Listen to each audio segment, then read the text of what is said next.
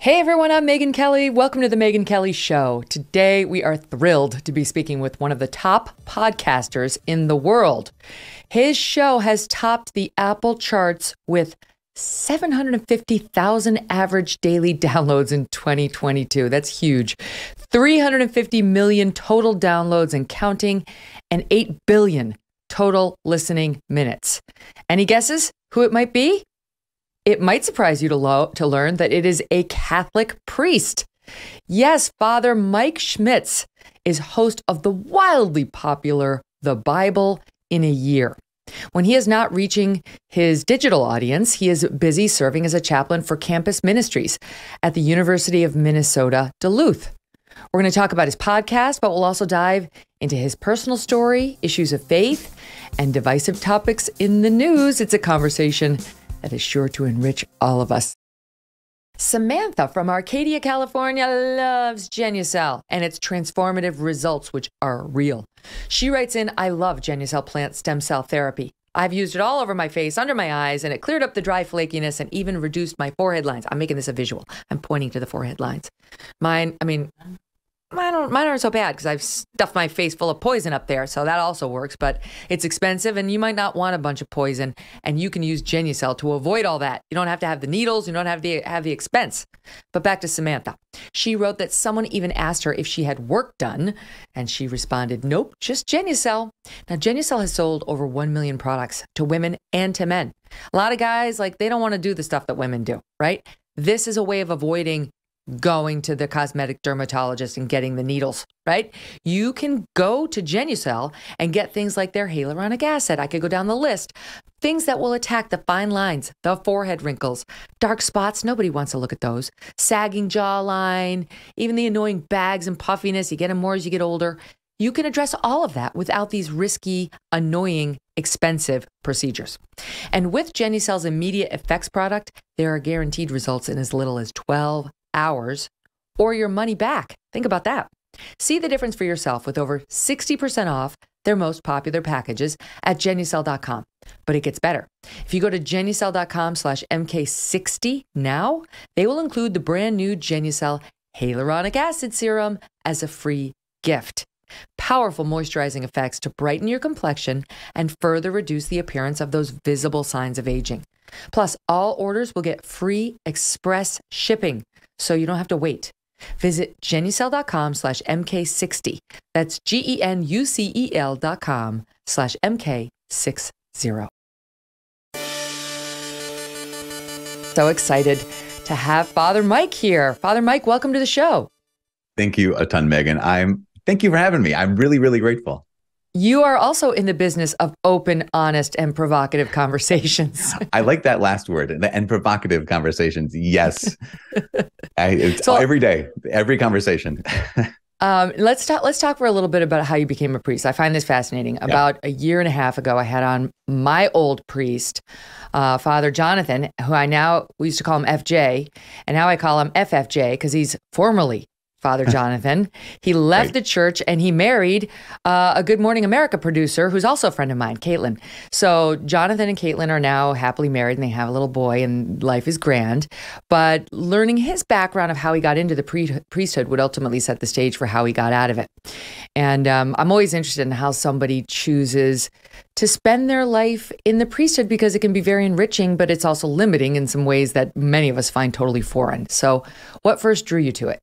Yeah, that's funny. That's a, that's a great question. Um, because it kind of it kind of if I were to give you the answer, which I will, in a provocative way, um, that that it uh it kind of says maybe a lot about about me. And so I guess I'll go back to I grew up in northern Minnesota in a basically small town, 20,000 people. My dad was an orthopedic surgeon, my mom was a nurse, and then she was a stay-at-home mom for us. I have six or six total of us siblings, and I'm the middle. So I have two older sisters, older brother, me, then younger sister, younger brother.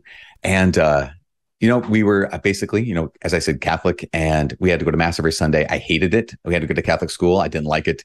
Um, I didn't get that. I didn't get it. Didn't see the point. And so, but the rule was that if you had to go to mass, and if you couldn't, or if you were too, the only way to get out of mass is if you were too sick to do anything else.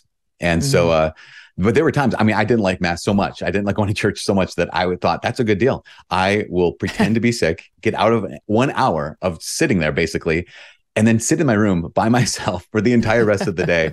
And like, and I'm like, yes, I'm winning. Like, so I really disliked it. But everything changed at one point. I was about 15 or 16 years old, and it was this kind of a, what I call a moment of grace, where it was just like, um, I just became aware personally of like I knew the Ten Commandments. I knew what like sin was.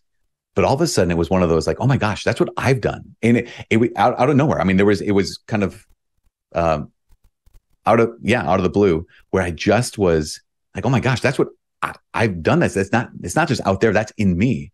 And I remember having this sense of, oh my gosh, I like I, I can't just forgive myself. I, I need to be forgiven. I need a savior. And all of a sudden it was like, bing, like, oh, everything they've been telling me this whole time, like that makes sense. I've got one. because I've been saying, they've been saying, oh, Jesus is your savior. Like, oh, yeah, okay. Now you've given me the answer. I never had the question.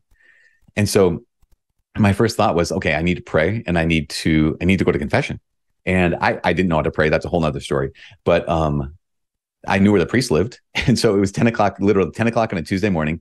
I got on my bike and I rode over across town to where the priest lived right next to the church. And I knocked on the door and he was there because, as we know, priests only work one day a week. And um, and he answers and and I said, Father, can I can I go to confession? Sure, come on in. Sat down on the couch and I remember leaving that rectory, leaving that house, and I stepped off the front porch and I had three super, that's absolutely clear thoughts. My first thought was, God, I'm so grateful. Thank you so much. Cause I just, I was really interiorly weighed, weighed down. And I was like, but you've just forgiven me. I, I, I am new. You made me new. And my second thought was, um, God, if you want me to be a priest, I will hear anyone's confession anytime they ask.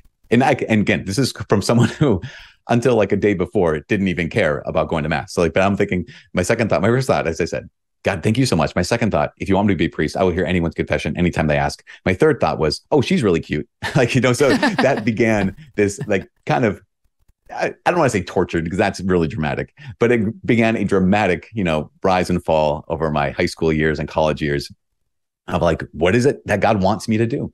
And so kind of to wrap it up, I, I went to a a Catholic college, but not to a seminary. I just wanted to study theology. Um, there, I met this incredible woman and I was planning on getting married to her. I graduated college and was a missionary in Central America for just one year. But when I was there, it just became very, very clear. I was excited, so excited to get back and to start a life with this woman, just incredible woman. Um, but when I was there, it just became very clear that God was just inviting me to, to even just try to take that step to go to seminary. And I have to tell you that it was um, simultaneously one of the hardest moments in the sense of just a lot of sadness, like deep sadness at mm. the same time. Cause I was in love with this woman. I'm just like, absolutely, you know, love her. But at the same time, there was a great spirit of joy of like, oh yeah, this is what I've been praying for for the last 10 years. Ever since I was 15, I've been praying every day. God, if you want me to be priest, just let me know. And here was the moment where he finally said, okay, take this next step. Um, and so it was a great, it was, it was incredible because it was a moment of, again, sorrow, but also a moment of uh, great peace and great joy of like, okay, this is the next step. And there's more to the story. And, and sometimes when I tell that story, it sounds really bad for her. Uh, she was taken care of. We can talk about that if you want, but that's kind taken of in care a nutshell. Of. No, it's, it sounds heartbreaking for her. I can't imagine for our listening audience. Father Mike is a very attractive man. Forgive me, Lord. Um, but I'm just saying she must have been like, no, no, no, that's not what the Lord is saying at all. You've misread his messaging. Right. No, and, and this is really important because I've talked to so many young women and young men whose, you know, fiancés or girlfriends, or whatever, left for you know some other kind of pursuit like religious life, um, who have, have been actually I've been talked to some people have been mad at me because their boyfriend broke up with them to go to seminary, and I'm like, it's not my fault. For for for this particular uh, relationship, she I remember the very moment when I told her uh, it was a Friday night. There was only one phone in the village that I was living in, and and so it was seven o'clock at night. It was pitch black because the power had gone out, except for the phones were still were still live and uh, and she knew something was up because we wrote to each other twice a day, every day. I mean, just we, I just really, really loved her. She loved me back, which was amazing. But she could tell something was going on, and she said, "Let's talk on Friday." So here I am sitting in, sitting in the dark, and the phone rings, and I'm like, "Hey," um, she's like, "What's so? What's going on?" And I said, "I, I think I'm going to go to seminary next year." And her first thought, her her first words, where she said, She said, I knew that this was a possibility before we started dating. And, Mm-hmm. and just like it's okay. I knew it was a possibility. And I'm just bawling. I'm literally just my tears. And I'm just like, but I'm so sorry. I'm so sorry. And she said, No, listen, if this is what God wants for you, then this is what God wants for me too. Like if he's calling Wow. you somewhere else, I know he's calling me somewhere else too. And that's one of the things that I've come to this conviction of whenever there's someone discerning anything, and there's the other person who's like maybe the casualty or the person who gets left behind or something like this. I've come to the conviction that whenever I'm talking to someone, I have to remind them, you are not an extra in someone else's discernment story. Like you're not an extra in the story of how God is calling someone else because he's he is also in your life. He's also calling you somewhere. And and she just she I, I remember at the time thinking, well, you could pretend to be a little bit sad. I mean, here I am bawling. Um, but she was she was the strong one. And I'm really grateful that she was. Did she go on to get married? Like what happened to her? Yeah, yeah, yeah. She is married and she has at least one one child, maybe two. Um, and uh, I think that I know that she is living a life that that is really blessed. So and it just is full. And and so Wow. yeah, it's been good. All right. So let me ask you an indelicate question since I've already done this with FFJ. I feel like I can Yeah. go there. Um, did you come to know her in a way that would help you understand what you are now missing as a priest uh, with all the vows that you have to take, including abstinence? Yeah, no, I I think that there I've learned so much um in the course of like there are the, are those relationships that I had before I went to seminary that had just formed me so much when it comes to okay I'm I, 'cause I, I counsel couples all of the time which on the surface seems very strange. When I do like marriage preparation classes it's like wait you? Why? Get, an take this- interesting point. talk to the single guy and you do you help people prepare. And one of the things is is I get to stand on the outside and I get to encounter, I get to be brought into the inside of so many people's relationships, not just one relationship, but like dozens and dozens and Mm, hundreds. that's true. And so the part of that is like, oh wow, I'm learning stuff all of the time. So yes, from her and others that I had dated previously, learned so much. And even since then, when I'm I'm getting when I whenever I'm invited into couples relationships, it's like, oh my gosh, I can see just another aspect of here's the human hearts, especially when it comes to romantic relationships, those human hearts that are just trying they're trying to they're trying to love each other. And how Mhm. how crazy is it that the person that you want to love the most sometimes can be the most difficult to love. Mm. And uh, so just being brought into that has been really, really, I did not expect that. Yeah, helpful. Yeah, I can see that. I, I remember. Uh, so I'm I'm married to Doug, but before there was Doug, there was Dan, and I so I had a first marriage, and and we had to go through pre Cana, and we had counseling Yeah. with our priest, and uh, I remember him saying to me. So I was an aspiring. I was a lawyer actually when we got married, and I had a successful career, and my my fiance Dan was in medical school and was going to become a successful doctor. And now the the priest knew this. I was already a professional and my soon to be husband was going to be. And he looked at me and he said, This is, I don't know, 2000, year 2000. Uh, and he said, Now listen, when he gets home from work, you have to make sure, you know, if you've been all day in the sweatpants and the t shirt, like put on a little makeup. Try to make yourself look a little nice. You know, you want to. And I remember thinking, My God, this is the most sexist advice ever. But can I tell you something, Father? But can I? And it is sexist. But he was 100% right. he was right. I'm sorry, but it's true. It, it applies to both parties. But like, you do have to, I think, now happily married to, to Doug uh, for almost, well, 15 years now. Yeah, you do have to make an effort. He wasn't totally wrong in the sentiment.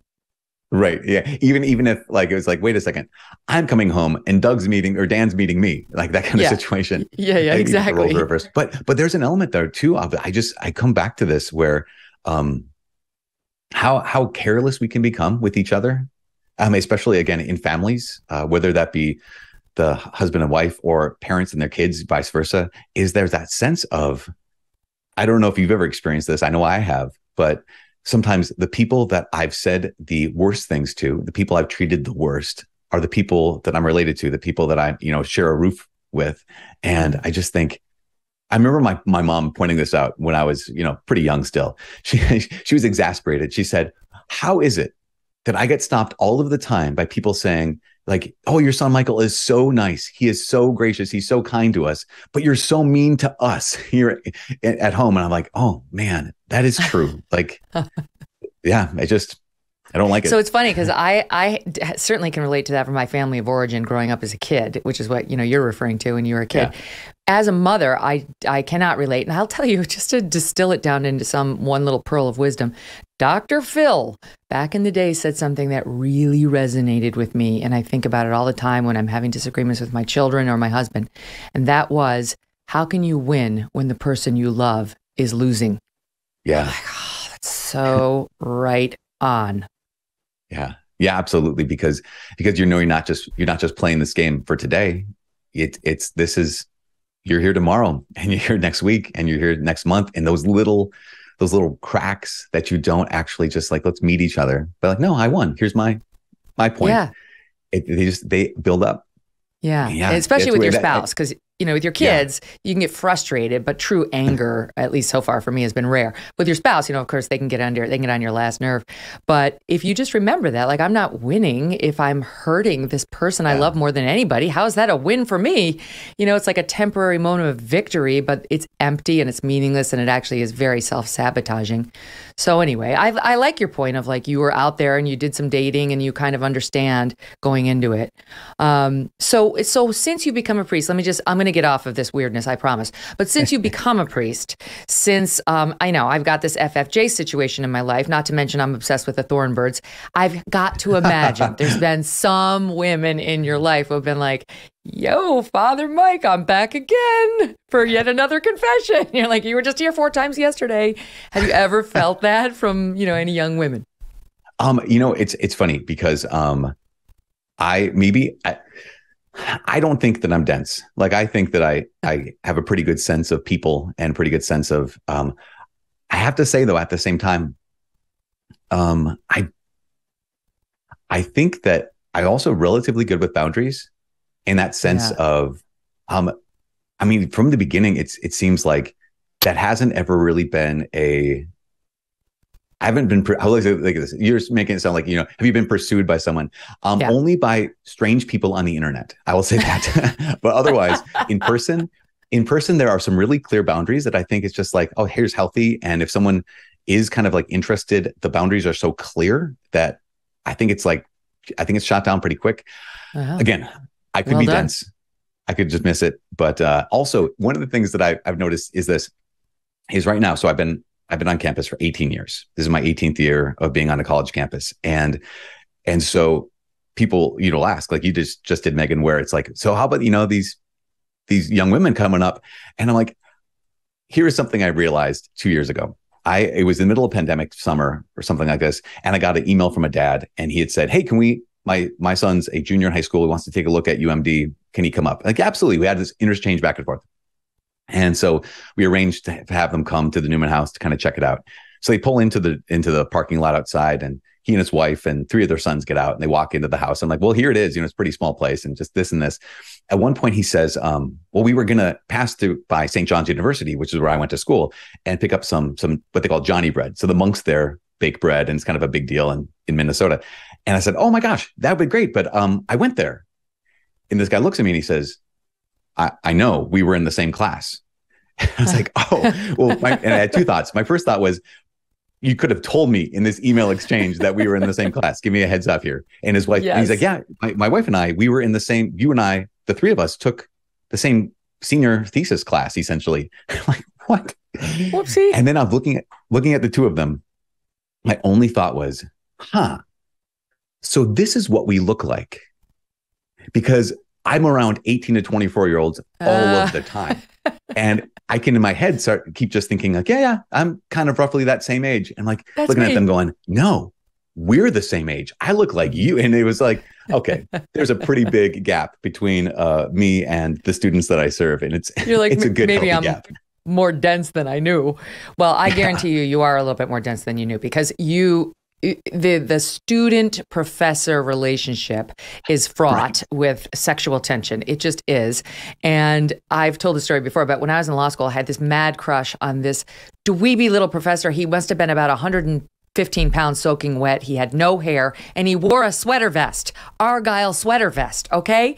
That in no other world on earth would I have been attracted to this man, but he was an authority figure and he was brilliant and he lectured so well.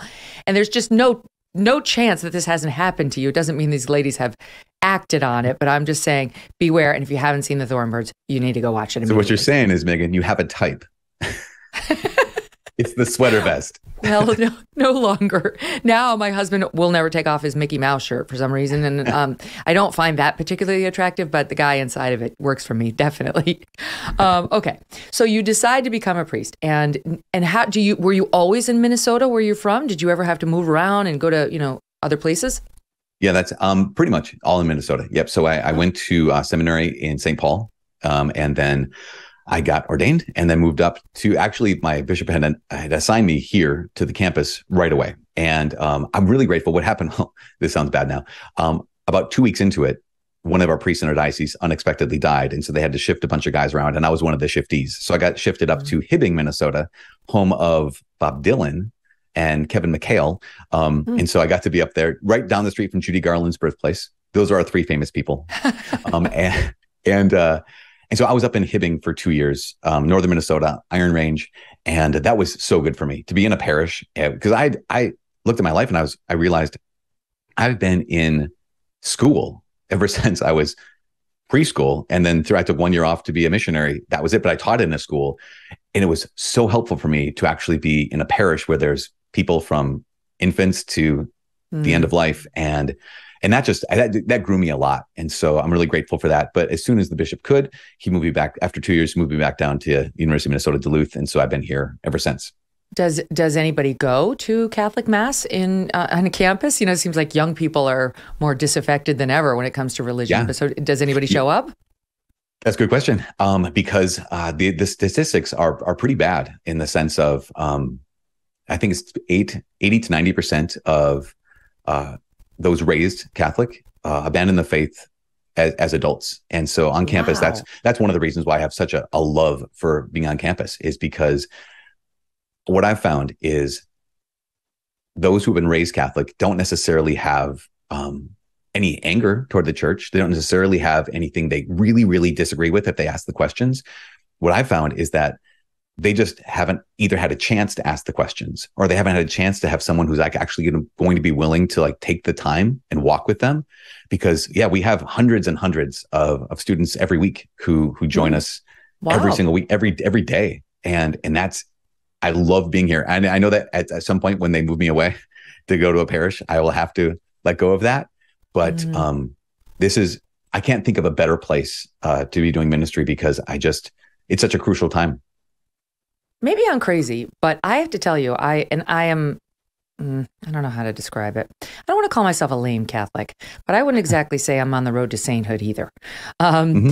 But I do go to church uh, every Sunday with my kids and my husband, and uh, I have noticed an uptick in attendance over the past year plus. I mean, it, in, at both my church in Connecticut and where we go on the Jersey Shore in the summer, it is standing room only. And I'm wow, telling wow, five awesome. years ago, it was definitely not this this way. And I just I wonder whether there's any backup for that on a larger basis. I think there is uh, because um, one of the things, again, the the statistics are from a couple years ago, where it's you know these this kind of being disaffected, and and there are there is I can't argue with the rise of the nones right? N O N E S's, those people who are no longer relig- religiously affiliated. That's a real thing, and and so that's one of the things that I think we've been trying to address. Um, but at the same time, I think slowly, and I don't want to be too rosy about it, but I think slowly we've been we've been addressing some things. And um, I also think you noticed in the last few years, I I mean, you take for example the the podcast. Um, I can't I can't tell you how many people, not just young people, but people who are writing to me. Seven, I'm Father Mike. I'm 84 years old, and I've been Catholic my whole life. I never understood the Bible until I yep. listened to the podcast, or I never realized here's what's what the the depth that we have been given. I've been going to mass every Sunday in my life. I never realized the depth of what I've been given until now. And yes. I think there's this combination of renewed interest in in longing for for something more meaningful and more substantial mm-hmm. with mm-hmm. an opportunity like this. I think you're so right. That's actually what I get out of it too. And I don't know whether I just wasn't paying attention when I went to CCD as a kid or whether I learned it all and I just forgot it. But I don't remember really learning scripture as Yeah. a young Catholic. And when you go to mass, you know, some is read and then you get the homily, but like I, I just feel like maybe evangelical Christians immerse themselves in the Bible more than Catholics do. I'm not sure. What is it? Yeah, that's a great question because I because there is that um stereotype you might say, or there's the cliche of like I'm Catholic, I don't need to know the Bible. Which actually, if you go back to the beginning, one of the early church uh, fathers named Saint Jerome, he had said this this phrase that is is very convicting for anyone who's ever said, "Listen, I'm Catholic, I don't need the Bible." He said, "Ignorance of Scripture is ignorance of Christ." So that's essentially the equivalent of saying, I'm Catholic, I don't need to know Jesus, which is Right. completely not what Deal any of us would want to say. And and so and so I but I think though that there is a potential. I mean, if you go to mass every Sunday, at the end of a three-year cycle, you will have heard something like 70% of the Bible. And so so we do hear scripture as hmm. Catholics. The problem is I think we show up for mass during the week or during the weekend and all of a sudden, here's a reading from the book of the prophet Amos. Like, great. Who's that? Who's that? and all of a sudden, he's saying these words, and we're like, I don't, I have no idea what he's talking about. We might get something out of the gospel because kind of maybe more familiar with that. We kind of know the context that has something to do with Jesus. But I, I, if we had the opportunity to do something like this, where we listen to the whole story and we kind of get the story, even if I don't know exactly who Amos is, I could say, oh yeah, but he was a prophet to the southern kingdom. I remember there was like two divided kingdoms, and okay, he's telling them this, and we get a little more context. Then all of a sudden, I, it's it's the the phrase, you know, the the saying, it comes alive, and I think that's one of the things that can happen. But until mm-hmm. that moment, it's like, man, it can seem a little dead and dry. I really feel like the the priesthood would benefit from the lesson I learned early on in my broadcasting career, which is the people who know the backstory will forgive you a line or two of explanation before you deliver the story. The people who don't know the backstory will be forever grateful that you didn't assume they knew it before you started your reading. Completely. Oh my gosh. I'm so glad you said it like that too, because there are times when I feel, okay, I don't want to have to recover this or I don't want to bore you, but here's the backstory. But just like you said, and you know, actually, Megyn, when it comes to like even like you said, being raised Catholic, I was talking with with uh, some people from the Archdiocese of Chicago last week because they were they just wanted to they're they're trying to do this initiative there where they're improving trying to improve preaching, and uh and so they said, well, what are some things that preachers need to know? And or what need what do they need to do? Or what do they they basically asked me and said what do you do? And uh, i said well again i i don't claim to be an expert but here's what i do. The first thing is i never assume that i have the congregation on my side. Mm. that that you know sometimes i don't know if you've ever been to mass and all of a sudden the priest gets up and he just starts basically base, uh, kind of starting from all these assumptions uh, first the assumption is that um, we think you have something to say. Well i don't i don't assume that they think i have something to say. Second assumption is that you're assuming we believe all the same, th- same things you believe or we're at the same place that you're at or Mm. that we see it the same way you do. And that sense of okay i don't even assume that they trust me. And so there's a sense of okay i can't assume in any way shape or form that they're on my side. And so to start from there is to be able to say okay um if i don't know that you're on my side how do i how do we get to a place where we're having some common ground and then going somewhere and i Mhm. think taking that kind of time and i think because I, I try to do it as a way to offer like respect if you're going to listen to me for the next 20 minutes because my homilies go a little long if you're going to listen to me for the next 20 minutes then um i need to respect you and No, you do a great earn, job of earn that. your trust Yeah, because I've listened to your uh, your YouTube, your your eh, weekly weekly masses online at YouTube as well, and uh, you have a separate podcast which will give just the homily, and I've listened to those too, and I appreciate it because you do you do the thing. My my brother's Pete Kelly, and he has a he has a very good rule of conversation which he unleashed on our stepsister shortly after uh, we were introduced to her, and she was rambling on in some pointless story, and he interrupted her. He's five years older, and said in the middle of it, "Why are you telling me?" This story I did not, and Need you to know. always tell know us why why you are about to tell us this story. Like, why what I'm about to tell you matters. And now, here, let me read to you from the Bible. And now I'm going to tell you what you just heard and how it Right. translates into your life. That That's such a simple formula. More priests need to do that. It is, except at the same time. So I got a call from my older brother once, and he left a message, and he was he was my brother. so I have a very driven set of siblings. Um, three of them are doctors. Uh, the other two are in other fields that just involve a lot of a lot of drive. So this is the he's in the military and is incredible, incredible man. So he um, he called me and he was hemming and hawing, which is very unusual for him. He leaves this message. He's like, "So, um, just coming back from mass, and I just, I just, ah, I, I was thinking that ah, father was he was preaching, and ah, at school, do they teach you how to preach? You're just so frustrated. it's important. I'm like, oh, okay. Um, so here's my brother. So I always think of my siblings whenever I'm preaching, whenever I'm trying to get ready for a sermon or a homily, a talk. I think, okay, what would Mark think here? What would what would Matthew think about this? If he if they yes. showed up, um, they'd be like, because he, I know, and you know that we have to repeat things. If we don't repeat things, people yeah. will forget them automatically. That's and so right. one of the things I try to do is have something that's repeated throughout that it's not overly redundant. Like I'm not just saying the same point, I'm making a new point. Anyways.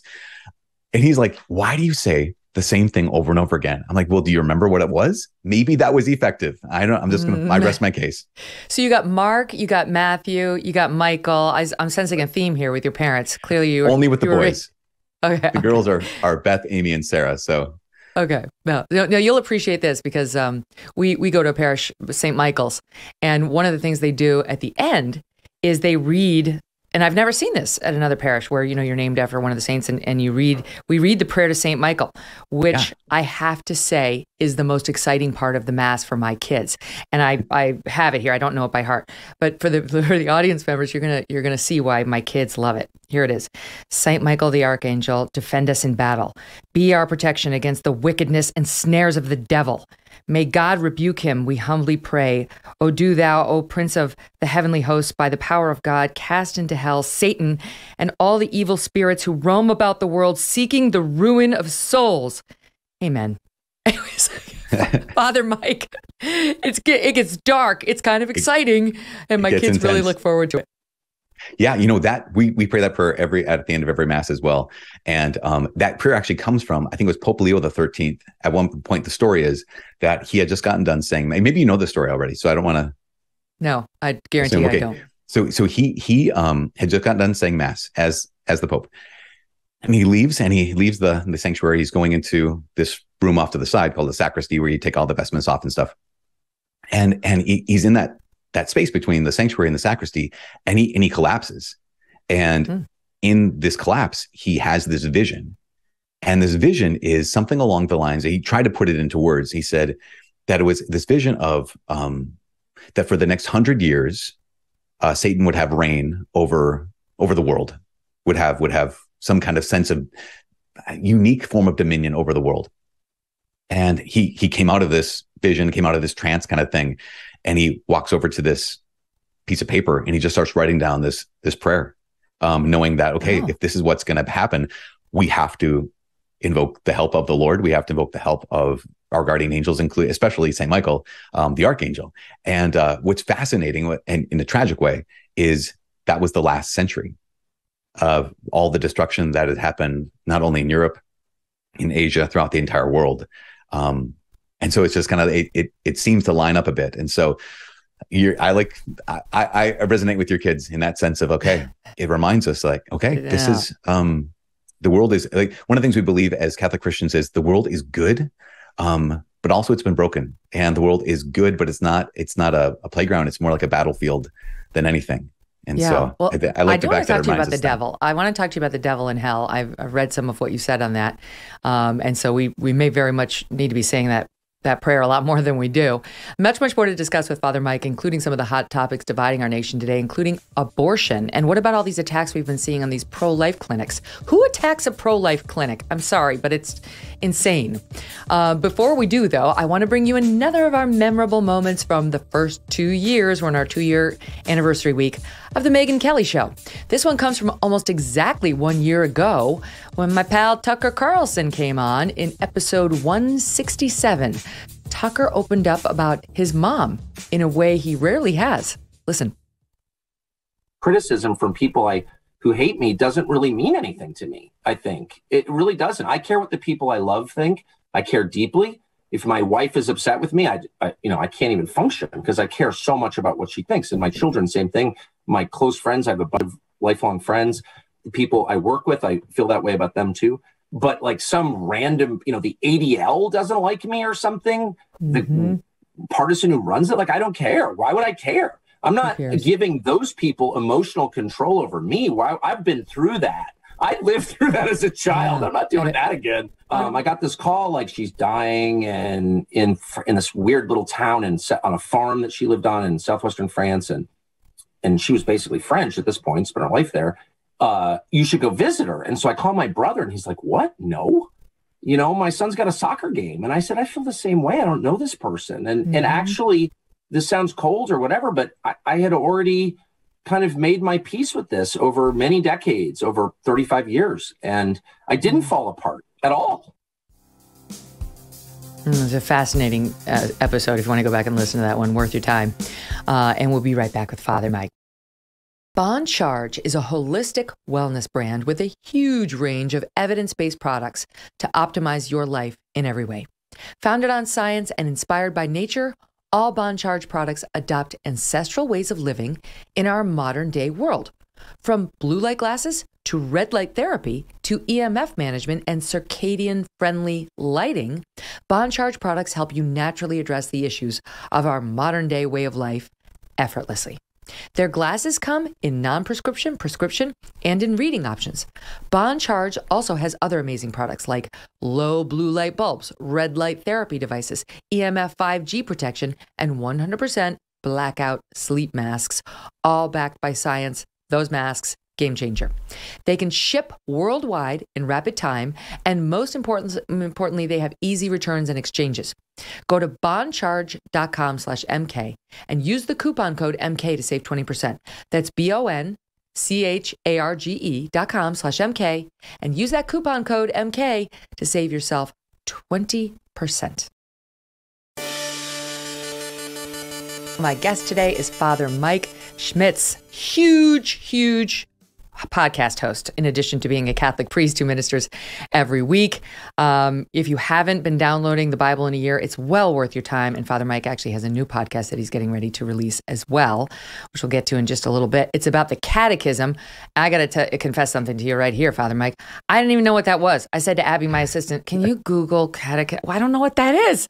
I, it's yeah. a, I gather it's a book about religion in general, but I guess you'll be doing the one that's about the Catholic faith. Is, is there one? Is there one catechism about Catholicism? Right, you are correct. It is a book. Um, and, and it is, um, yeah, so it is a summary of what uh, we believe as Catholics. So um, there have been a number of catechisms over the course of the last 2,000 years. Uh, the most recent one was actually the the big this is the most recent universal catechism. What i mean by that is where the whole church comes together and they say okay this is for the whole world. And it becomes it's really broad it's really deep. Um the one previous was the catechism of the council of trent so in the 1500s and from that they made like i maybe you've heard the term the baltimore catechism. Um, no. So that was that was that was a, a term. A Baltimore Catechism was was a book that was came out of Baltimore in I think early 1900s, where they took the teachings from Council of Trent and made them more accessible, so that you could mm. teach from it. In fact, mm-hmm. so but this one came out I think in 1991, 1992, somewhere in there, and it's it's it's beautiful. It, but it's a summary of all that Catholics believe. And so, is it like um, is it like the Bible for dummies? Like what is how, how does it differ from the Bible? Right. So, uh, so the Bible is amazing. So, okay, let me just share a little bit. I've been, I've begun recording the catechism because I have to get a kind of a lead on it because it's yeah. dense and it, the Bible was so easy. I mean, in the, in, in, in comparison, because the Bible's a story. And yes, there's all the names and yes, there's some of the things like, wait, what's going on here in this kind of situation? Trying to make sense of things. The catechism is not a story. The catechism is here's what we believe about da, da, da, da, da, going down the line, right? So here's what we believe about how God reveals himself. Here's what we believe about our response to God called faith. Here's what we believe about the Trinity. And it gets mm, good, helpful. but it starts really, it's really dry at first, I have to say. Mm, hmm So you you you liven it up. I hope so, but it's it's it's it's been a, a learning process for me because again, the, with the Bible, I'm like, well, especially if you um the first few episodes of the Bible are, you know, the first chapter, couple chapters of Genesis and Job, which are things that I have been reading and praying about for years and years and years. with the catechism, the first couple paragraphs, couple days are like, oh, here's the introduction to the catechism, which I'm like, okay, uh, awesome. I'm just hoping that people stick around to like day 20 because that by that point we're like, then we take off and then it gets really, really yeah, good. But good. unlike the Bible, it it's a little bit to warm up to. Well, I have to tell you, I mean, I didn't know what to expect on the Bible uh, in a year because I really wasn't that familiar with scripture. You know, I couldn't quote it. I'm not somebody who does a lot of Bible studying, yeah. um, but I found it fascinating. And I've said, I've told the story on the air before. I love crime podcasts. I'm, you know, one of those women who I'm into crime, and I love Dateline. And um, I I can have Dateline in Dateline on playing when my children walk in the room, but Father Mike and Bible in a year, we're on Sodom and Gomorrah. I'm like mute, mute, mute, mute when the kids walk. yeah, some, it, there's some becomes, R-rated yeah. chapters in there. Did you? I don't know if someone asked me about this last week. They said, when did you start putting in like the uh like disclaimers at the beginning that by the way, if there's yeah. children present, you because we had so many people writing writing to us saying, oh. "Okay, we were listening as a family in the car, and you oh, started no. talking about," and I was like, "Oh shoot!" So the Bible oh, is like for kids. A lot of incest. Like like, okay. Yeah, and you're like, "Oh gosh." So that's and that's the thing that takes so many people by surprise is because think about even the story of Noah, and I mean that's that's in virtually every children's you know picture Bible, every children's whatever, like, oh yeah, Noah yeah. and the ark and the flood and the and the and the rainbow. Okay, and the flood right in there mm-hmm. like where everyone died yeah that's part of the story and it's one of those mm-hmm. where i think sometimes as adults we're like i remember hearing these stories as a kid where i just kind of passed by as opposed to wow i really have to engage with the bible's not a hallmark i always say like it's not the hallmark channel It mm, is right no it's not it's HBO. It really especially, is. especially the Old Testament. The, the Old Testament oh was gosh. like, okay, buckle in, get ready. Yeah, yeah, and uh, and I think it treats us like um, people who actually live in the world, which is one of the things that I found has been that when people. So I got a, letter from this man, maybe maybe two months into when the podcast first aired, and he had said that he uh, was a committed atheist, and that he had raised his children as committed atheists, um, and that he read the Bible a couple times but he said he started listening to the the podcast and he said i don't know what it was. Maybe it's the explanations. Maybe it's the context that you're offering. But he said i i know i come to believe. Like i've come to i can actually profess faith in this god and in jesus. And i'm like this is incredible. But one i think part of that is i think part of that is the bible's written with the real world in mind mm. but oftentimes we approach it as if the bible's like a magical book or as if the Bible, again, is a children's book and doesn't actually have anything to say to my brokenness or my broken family or, mm. or the fact that, okay, I, I thought I was called at one point, like, you know, to be belong to God, to be great. But then I've got all these wounds. I've got all this failure, this string of failure in my history. And you realize when you read the Bible, oh, that's that's what all our history is. All of our mm. history is this promise, but then the string of failures. But in the middle of it is a God who doesn't take back his promise. And I think that when people begin to approach that and realize, internalize it, then it's like, wait, this is actually about me. This this isn't a foreign book entirely, at least not the way mm-hmm. I thought it would be.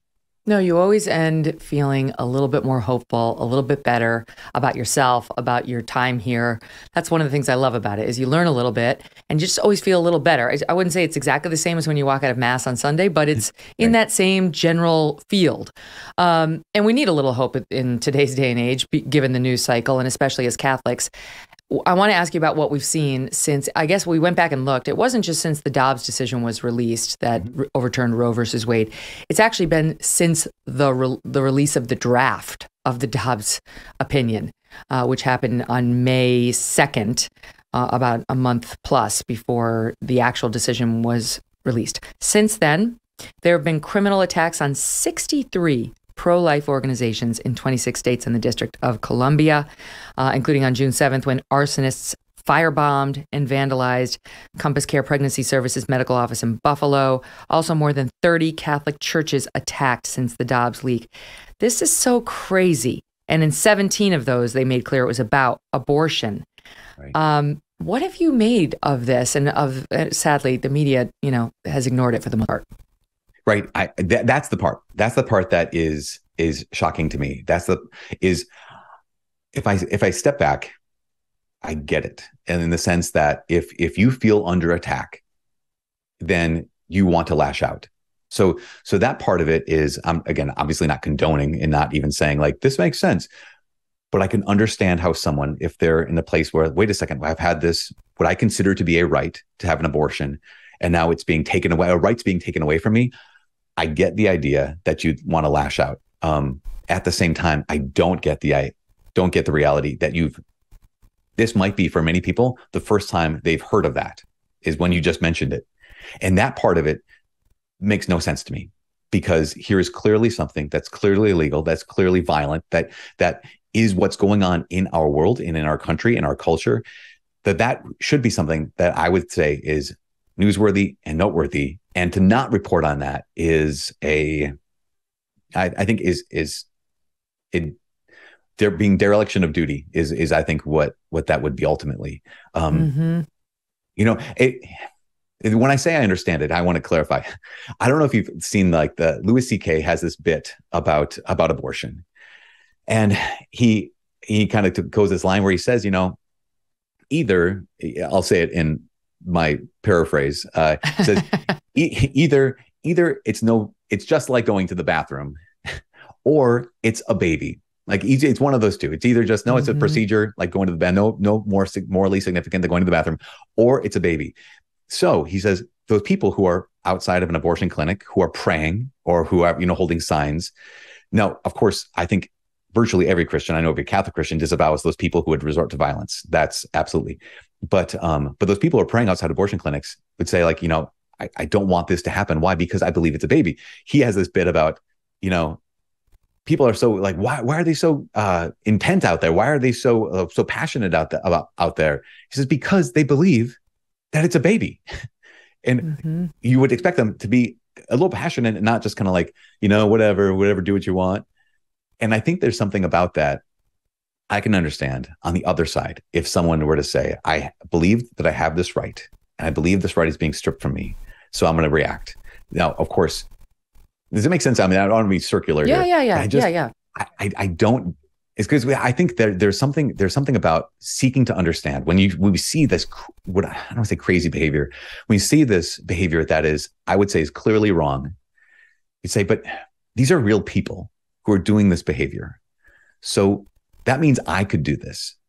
If like the circumstances were right and I was convinced of something that I, I know that whatever I've seen anyone do that would be wrong, would be evil, I have the same kind of heart. And I'm not maybe inclined toward that kind of thing. But I always have to step back and say, okay, what would the circumstances be that would lead me to do something like this? And unless mm-hmm. unless I really investigate myself, I will never be able to talk with someone who would think that this would, would be the That's right thing. That's the thing about you. You're you're the least judgy priest I've ever heard. I mean, I thought that judgment came with becoming a Catholic priest. That that's part of like the deal. And you are the least judgy priest. You have you know your moral principles, and you'll espouse sort of what you think those principles are as, as taught by the Bible, as as handed down by God. But you are always looking for a way to be gracious to people, even in this circumstance we're talking about right now. I mean, what, what's so crazy to me about the bombing of the pro life clinics is, I, again, to, to say what you said, it's not that I understand the desire to go assassinate Sam Alito. I, it's not like I su- support it, but at least logically, I see the line. Okay, like he's the guy who was it was Kavanaugh, but Kavanaugh was part of the majority. But like a pro life clinic, they're probably not in favor of Roe versus Wade, but they're actually just helping pregnant women who have right. chosen to have their babies. So what is even controversial about them? You know, like who, what kind mm-hmm. of sick, twisted person? It's not just a one-off, as I say. It's, you know, 63 of these places got attacked in the past couple of months. Who, like, it makes no sense. Right. Yeah, exactly. Because I, and I think that you, we can look at this and say the, what has been the, I want to say demonization because that's very dramatic at the same time, it might be the only appropriate word when it comes to uh, people who are.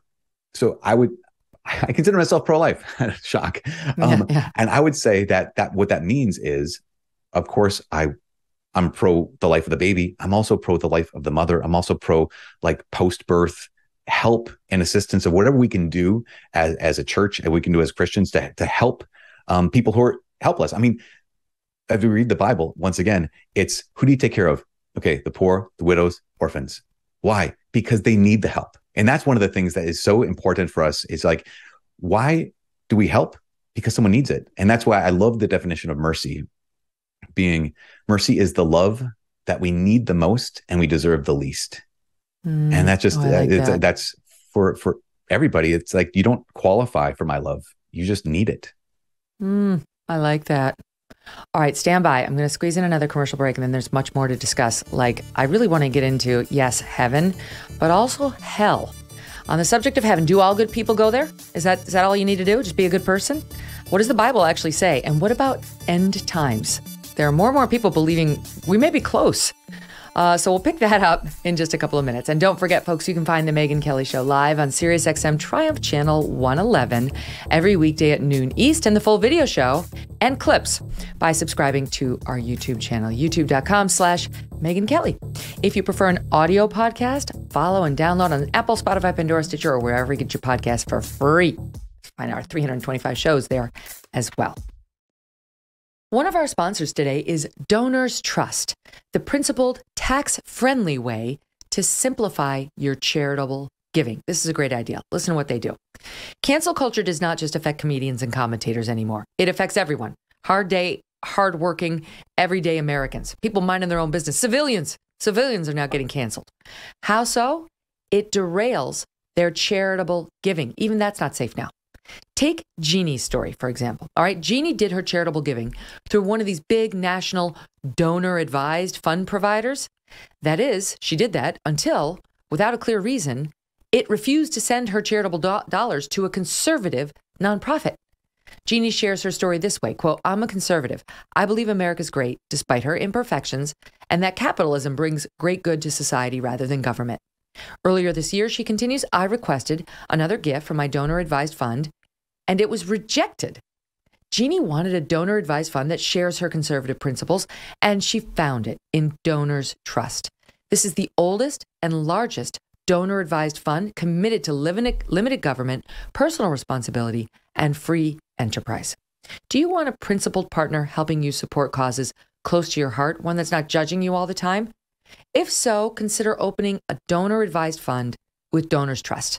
For more information on how Donors Trust can help you with your charitable giving, go to donorstrust.org/mk to receive a free copy of their donor prospectus. That's D O N O R S trust T R U S T dot org slash MK. All right, Father, let me do me a favor, okay? Can I just ask a few dumb Catholic questions? Stuff I've always wanted to know the answers to, but I'm too embarrassed to ask my actual priest. I'd rather do it here in front of, you know, many, many, many more people. Absolutely. There are no such thing as dumb questions, only dumb answers. Okay, well, this is going to show you what a lame, again, to use that Catholic I've been. Um, quick answers if you can. Why did mass change? I grew up understanding, you know, and also with you, and now it's and with your spirit. They changed all the language. If you, you know, I didn't go to mass for like ten years, then I resumed again. I'm like, everything's changed. Great question. So in the 1960s, they made mass in the vernacular, right, in the language of whatever, wherever you were, and the translation they did was what you might call like a dynamic equivalent translation. So it's kind of, a, kind of, sort of what the original language said, and then they said, okay, that was the first translation or the update. And so maybe 10 years ago, or maybe less than 10 years ago, they said, but actually a more accurate translation of the original mass is this. And that's when they changed it. They said, we need to update these things. They just, they kind of hastily translated in the 60s. And so they went through and, and took their time and more accurately translated in the 2000s. Okay, I did not appreciate that, but I'm I'm no, I, I, got it now. I've got most of it. Consubstantial, right. yes. When did when did we start putting our hands out to the side when we started saying the Our Father? That's another thing. Like I I never put my hands out. We said the Our Father. Now everybody does that. Yep, don't get me started, Megyn. So we're not supposed to do that. That's a whole oh. thing that just kind of it just it was kind of invented in the last, I don't know, we'll say 10 to 40 years where um it's that's actually it's not it's not a thing. Um but some people do it and it's uh it's actually if you want to be like liturgically proper meaning like proper when it comes yeah. to like the mass and stuff is yeah. that that you can do that when you pray like not in the mass but in the mass that's like the posture the priest prays Yes, in and and the, the people pray in a different posture so Huh. so if you don't like that you are actually your your instinct is correct you already see you're more catholic than Uh, you think I feel better. All right, now I've noticed that, Um, like when we go to church over the summer at our um, shore, at the Jer- New Jersey, Jersey shore, you know how you put the kneeler down when the priest is doing the communion rites and getting communion ready, um, and you kneel and you stand and you you know we all just follow the old lady in the front and do what she does. But except for there, Yes. except for there, where they everybody stands the whole time, and so some of us who are you know we kneel. I, I can still kind of remember when to kneel and when to stand, except nobody else is kneeling. They're all standing through the whole thing. When did that happen? Why are people doing that?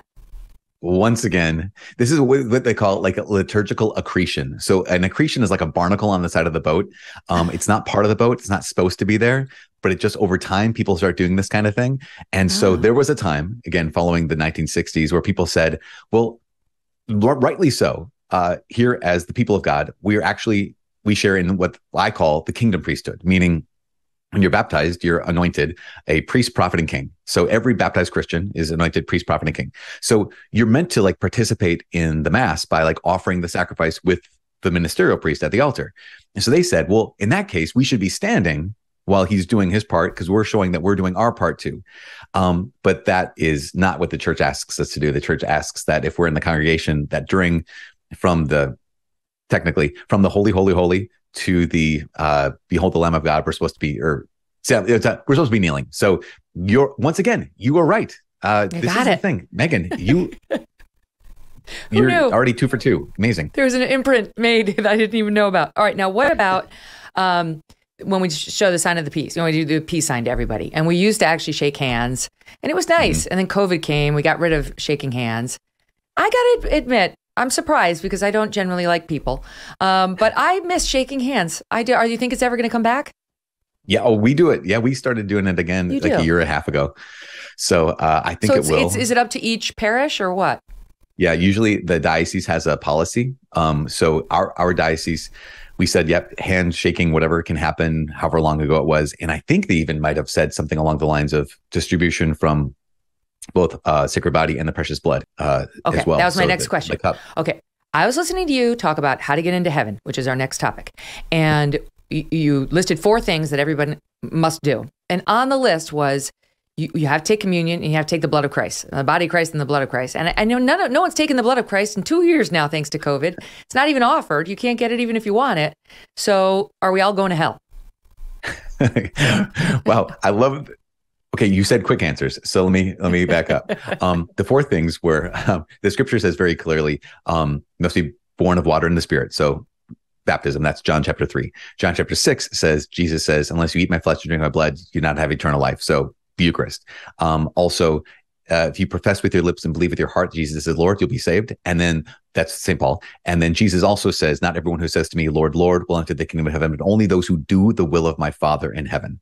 And um, so those those are four very clear things in the New Testament for um, they seem like conditions, right? Now, Mhm. couple things, couple caveats. One is the church has has over the course of 2000 years has recognized that of course Jesus' words are completely true. So it's not like we're kind of equivocating on this, but we also recognize that first Timothy says St. Paul's writing to Timothy and he says, we know that God wills all people to be saved and come to the knowledge of truth. So God doesn't just like make some people and just discard them. Like we don't really care about you. Oh, you didn't you didn't become a Christian or you didn't get to you know even hear about Jesus. Too bad. No, we believe that God wills all people to be saved. Um, we also know that at some point though, there are some people who, through no fault of their own, don't know, or, even through no fault of their own, they may have heard but never had the actual possibility of um, actually saying yes to this invitation. You know, it- we can think of people in far off countries. We can also think of people in our own country, in, in our own town, who've never even considered the reality of Jesus because of any number of reasons. So, what happens to them? The church has said that we believe that it is possible. We hold out hope. This is the thing. We hold out hope that those who, through no fault of their own, do not know of Jesus or his church, but who, by the promptings of grace, because we can only get to heaven through grace, um, do the best they can, essentially, assisted by God. We hold out hope that they too may enter heaven. And so there's this this sense that the church says, okay, here's what we know. Jesus said these things are the kind of requirements for heaven. We also know this that there's people who had no chance of ever meeting these conditions. We also know God, God's nature. We know God's goodness. We know that he wants everyone to come to knowledge of truth. Therefore, we knowing that God is good and just, he will never punish a person or let them experience a consequence that they didn't actually choose. That was no fault of their own because he's good. Therefore, we hold out hope that in a way unbeknownst to us, uh, they too can be saved. Does that make some sense? Mm-hmm. Mm-hmm. So it doesn't sound like he would hold the absence of blood of Christ against us, given okay. that we couldn't get it during COVID. And going going back to that, that's the short answer. We would say that um, the full, the entirety of Jesus, body, blood, soul, and divinity, is contained in even one crumb of the Eucharist, mm-hmm. even one drop okay. of the precious blood. So you actually oh. technically are receiving body and blood, soul and divinity in every every time you only receive the body of Christ. It's the full okay. Jesus. You'll appreciate this. I told the audience a couple weeks ago we we have a little guy. We have three kids, and the, the little guy just made his first communion last spring, and uh, he's still very excited to go up there and get the communion. And he, yeah. he came back to the pew afterward a couple weeks ago, and he goes, "I really think it'd be better with a little sea salt." yes. that was yeah. I do salt. appreciate that very much. I'm like, wait, why, why not? Why stop there? Why not just have like some guacamole or some hummus you can dip it in on your way back to the view? I actually that was that was a big thing for me because after I had that uh, encounter and, and went to confession I talked about last hour, um, the next thing was I was reading a book that my mom had had in in that in the house, and one of the chapters was on Holy Communion, was on the Eucharist, and I don't know if I was sick that day, but I did not realize that what we realize is Jesus, the Eucharist is really Jesus. It's like it's mm fully him. And mm-hmm. I, I was so blown away by this. And I remember going down to the kitchen where my siblings were. I'm like, you guys, did you know that that's really Jesus? They're like, yeah. And they're like, no, no, no, you guys, it's really him. They're like, we know. I'm like, no, you don't understand. And like, moron. We all went to Catholic school. You did too. What's and I just it blew me away. So then next time I went to mass, I was I remember being like, okay, you know, body of Christ, amen. I'm so excited. And then received Holy Communion. I was like, hmm, it's a little dry, that kind of a thing. And I was so disappointed because I thought, I, I, don't know what I thought. I think I thought that it would be like pop rocks, like this is really God, yeah. you know, kind of a thing. And yes. and it wasn't. And it took me a while to kind of process what is that where this we really believe this, and yet here's my experience. And then I, I it was a moment of another moment of grace where I was thinking, I realized that when I would imagine if I were living 2,000 years ago and I was walking the streets of Nazareth if I were to see Jesus, I always just imagine that he would obviously be God. Like, you know, he'd be floating six inches off the ground, mm-hmm. light would be coming out of his hair. He says your name and you fall down. But if if I remember thinking, like, wait a second, if I met Jesus and saw him, he wouldn't look like God. He would just look like some guy. But he wasn't just some guy. He was fully God and fully man. And realized that's what the Eucharist is, is like this is God, but he's hidden. And that mm. just that that just that gave a lot of consolation to me because I was I, like I wanted some fireworks. You know that may, that or raises guacamole. some questions I have about I have about about Jesus and you know my Jewish friends who um, one of my very good friends uh, who is Jewish, I managed to drag her to Christmas Eve mass one day, and uh, she was staying with me. We brought her. I'm like, it's beautiful. You'll love it, even though you might not totally believe everything you hear. Yeah. And uh, they were, of course, uh, they were talking about baby Jesus being born and so on and so on and so forth. Anyway, she said, "It's not. It's, it's not that we don't believe. It's just he was just a man. He was just a man. You know, we don't see him as Christ." Mm-hmm. I said, I, "I get it. I get it." But it does make me wonder because Jesus was a historical figure. Obviously, he actually did, by anybody's estimation, roam the earth, and his behavior right. was documented and it was written down and it's all laid out in the New Testament. But uh, my Jewish friends don't follow the New Testament; they kind of stop with the Old Testament, and and I don't I don't fully know how it goes from there. Do they reject the stories about Christ, about Jesus Christ's behavior, about like the miracles he performed?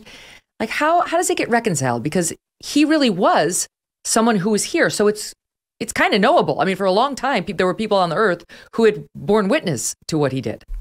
Right. Yeah, absolutely. And so I think every person, it's, and this goes back to like the heaven hell question too. Every person has their own story. They have the, we have our own biases. We have our own like reasons why we either accept or reasons why we reject.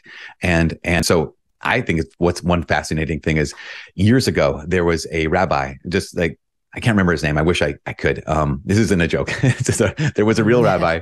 Um, and and he was saying that the reason why he reject he he ex- I think it was called the Rabbi Examines the Case for Jesus. He wrote a book, and uh, and he said, yeah, Jesus he ticks all the boxes. He ticks all the boxes for the Messiah. Ticks all the boxes for even actually maybe he is who he said he was, which is not just the Messiah, but actually God. But then he got to this point. He said, but there's one thing Messiah was supposed to do, and he was supposed to establish the kingdom. So to establish kingdom that would last forever. And he said, I look around and I don't see the kingdom. In mm. response to this, there was a guy named Cardinal Ratzinger, aka Pope Benedict XVI, who wrote a book called Jesus of Nazareth, where he says, I mean, because he respects this rabbi a lot. He said, okay, here's here's my response. The response is he did establish a kingdom, and that kingdom is the church. And it does exist everywhere on every continent in every country around the world. And so there's that sense of like for this rabbi, he was like, yeah, Jesus takes all of the boxes except this one. And I don't know, I don't know if he's ever responded uh, to Pope Benedict's book, but uh, yeah, there's a lot of, uh, yeah, it's pretty compelling. Yeah, I don't. It's like to me, that's what's comforting to me about Jesus is there were eyewitnesses to yeah you know his time here on earth they wrote it down and it was I, I don't I guess you can't say it was uniformly accepted based on the premise that I just offered, but it's one of the things that makes me believe, you know, that there's a historical right. record of what he did when he was here because I'm a lawyer and I'm a linear thinker and I like my facts and I like evidence and then, you know, faith can be can play a role and must play a, a role, but I also like there to be a strong basis in fact yeah, I think I would say without the uh, because Jesus is historical, Christianity is an historical religion by its very nature. And and I mean, even like you mentioned, there's a moment in St. Paul's letter to the Corinthians where he basically says he's writing to these people. These are people in history, right? In the first century. And he's saying, okay, here's what happened. Jesus was killed. Three days later, he rose. He appeared to uh, Cephas. He appeared to the 12. He appeared to me. He actually even says he appeared at one point to 500 people all at once. And he even says this line he says, um, some of whom have fallen asleep, some have died, but most are still alive. And the reason why he's saying this is because he's saying, go ask them, leave here in Corinth, just travel down to the area of Jerusalem. You can talk to these people because they actually saw him. Because the only reason we believe in the resurrection is because it was verified, right? It was there were witnesses who actually witnessed this and then were on to testify to what they had actually seen. And it, that's one of the proofs I think. When I say proof, I don't mean like a uh, chemical proof, but I mean like a logical proof mm-hmm. when it comes to the claim that Jesus is who he says he is.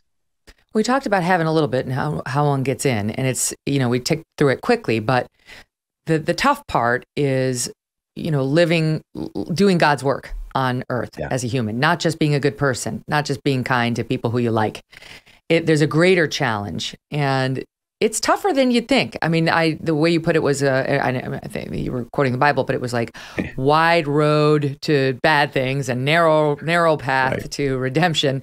You you can put it in the proper terms, but it's tougher than you'd think, which was kind of disappointing, but also promising because I'm still here and I can still work on it. Yeah, yeah. And also, I would say too, I, I Catholics get a get a kind of a bad rap for thinking that we earn our way or work our way to heaven, which we don't believe. Um, all of this is in the context of God wants to help us, and God is helping us. It's called grace, right? And um, we can't even do these things without His help. And the great news is He is helping. He wants to help. Again, First Timothy, God desires all men and women to be saved. He wants you. And that's one of the big messages of Christianity, I think, that even Jesus is saying. What's he say? He says, Do you think, do you think that he would ever forget you? Do you think that God would ever um, ignore your? I mean, if you're suffering, you're hurting, do you think that he doesn't care? And Jesus goes on to say what he says, consider the lilies of the field, right? Consider the birds.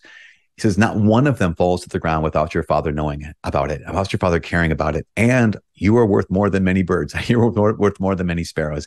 There's something about the context of this whole thing that is, okay, first of all, God wants you to exist and he loves you. He wants to help and he is helping. Now, along those lines, here's this thing he's given a tool called baptism. So enter into that. He's given this tool, Eucharist. He could do this, his will, his his um is saying yes to him but that's the big key right is is that every one of us is free to say yes with god's help we're also free to say no we're also free to be indifferent and that's that's the, the thing that i just i wrestle with so much so much even as someone who like fully fully believes but we could live such a comfortable life sometimes that it's almost easier sometimes to be indifferent to the big questions than it is to be like really preoccupied with the big questions and saying, "Am I saying yes to God or not?" I, I remember hearing uh, the definition of a saint was uh, a saint is someone who says yes to God and then just never stops saying yes, and th- that hmm. seems doable to me. Hmm. The opposite is, you know, hell, and I think yeah. I know many people who don't believe in hell, though I think they're in the minority because I think the polls show the majority of people do believe in, yes, heaven and actually hell as well. Can I ask you what your idea is of those two places? My, my kids ask me all the time. What does heaven yeah. look like? Will we be together? Will, will we really, will we get to see you? Will we get to meet our, our grandfathers? You know, and of course we all take a shot, right, at our ideas, but what's your idea of heaven? Yeah, no, that's it. See, I, uh, Dante, right? He writes these three poems: the uh, uh, sorry, Inferno, the Purgatorio, mm-hmm. and Paradiso, right? The hell, purgatory, and heaven, uh, paradise. And everyone loves the Inferno and Purgatorio, right? Everyone loves the purgatory and hell because it's just so fascinating. But the goal is to stay away from those. The goal is actually heaven. Yeah. And yet, yeah. how often do we actually meditate on what would what is heaven like? Because we actually God has given us some insight into what heaven will be like. I think a lot of us imagine um, that it's like you float around on the cloud. And I remember remember the Far Side by yeah. Gary Larson. Mm-hmm. So there was one one of my favorite uh, little cartoons was it was a split panel one, and it was heaven and hell, and it was hey, welcome to heaven. Here's your harp, and the one in hell was welcome to hell. Here's your accordion, and it just oh, he struck me as funny. But that's good. But heaven we picture it as just kind of floating around, right? Bouncing from cloud to cloud. Maybe you have your harp. Maybe you're in a place of peace, which sounds great for maybe a day and a half or maybe less than that. And so I don't know that we're passionate about what God has actually revealed to us that heaven will be like. And here's a couple things. One, God has revealed that um, we believe in this thing. We say it every Sunday in the Nicene Creed. We say, I believe in the resurrection of the dead, the resurrection of the body, that ultimately we get our bodies back and and so in eternity we we have resurrected redeemed bodies. And we actually know what those will kind of sort of look like because we have pictures of of jesus. His resurrected body is what? Mm. it's it's agile right? It, it, can go from emmaus 12 miles away from jerusalem to jerusalem in a moment. So that's what your body will be like. It can pass through walls so that's what your body will be like. It doesn't get sick or break down. That's what your body will be like. There's all these like incredible power that comes from him. That's that's what st paul says he's the first fruits of like what he has already, we will have. But those bodies then have to occupy space and time. And so the idea behind this is okay, if you love this planet, if you love the idea of the solar system and the billions upon billions of galaxies that exist and the creative mind of God that can create so much beauty, that's just this world. What St. Paul says is, he says, but all creation is groaning because it's it too will be redeemed. What that means is those bodies, those resurrected bodies that God wants us to have back in eternity, they will take up occupy space, not just floating around from cloud to cloud, but in a earth, on an earth, in a world or worlds that are just as real and even maybe even more real than the one we're in now. And so that's even just a glimpse, right? Uh, of that. Like, here's what we believe when we say mm. that one phrase every Sunday the resurrection of the body, the resurrection of the dead. What we're saying mm-hmm. is ultimately heaven will be, I don't want to say earth on steroids, but like it, this, this amplified um, reality that I think just like scripture says, we, eye has not seen and ear has not heard. We have not even, has not so much as entered into the mind of man what God has in store for us. Um, instead, we think, oh, clouds, floating, robes, harps. Right, right. It's not really what we want, what we aspire to exactly. And before right. we go to the dark side, can I ask you? I had my friends on last Monday, and it was a sad story, but ultimately one of redemption and one of hope. Uh, they lost their 17 year old boy to myocarditis, and it was sudden and it was unexpected. They, they, they struggled for weeks and months to figure out what it actually was. No signs of illness, just just died suddenly.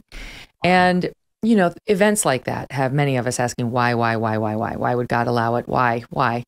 Um, and why, when I, I pray every week to God to look at, over my children, or I, I light a candle for somebody who's suffering, you know, why do I do that? Because I believe there there's the possibility of intervention, there's the possibility of help, there's a possibility of steerage, you know, that that steering where you could yeah design a good outcome. So there's that piece of it. But the other piece of it is we talked to them about all the signs they've been getting from Blake. Uh, is what's the hmm. name of the, their boy?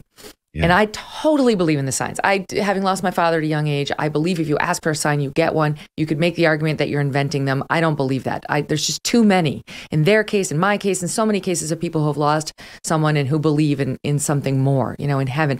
So, do you believe in in those signs? Are they coming from our lost loved ones? Is that God's hand making it? Like, what is that? And yeah, that's a um, great. and then let's speak to the, the you know what happened. Why why did tragedies happen to begin with? Man, yeah. that- So there's two big questions. Uh, Yeah. the big one is is um, is God God or not, right? And is He good or not? Which is it's a really big question we have to wrestle with. In fact, I think Saint Thomas Aquinas had said um, the the only real argument against God's existence is that is the reality of suffering, the reality of evil. Because if God is all good and He's all powerful, then why is there suffering? He's either not all good, meaning He doesn't care, or He's not all powerful, meaning He can't do anything about it. And um, unless there's another option.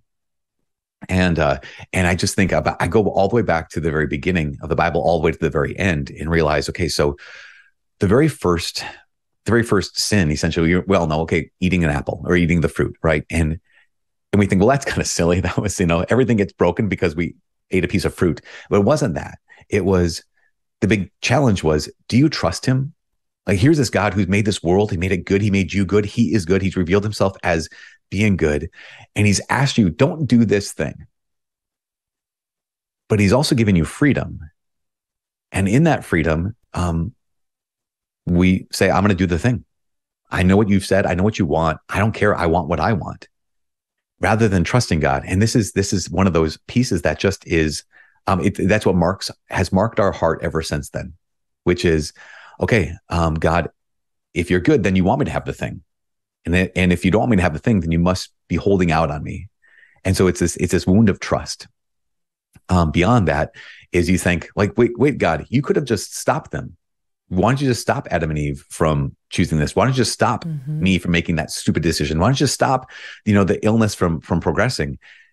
And we recognize that God doesn't stop us from making choices. He doesn't stop us from us from saying no, because for whatever reason, God has made it clear that it's more important that we become people who are able to love than people who are simply safe.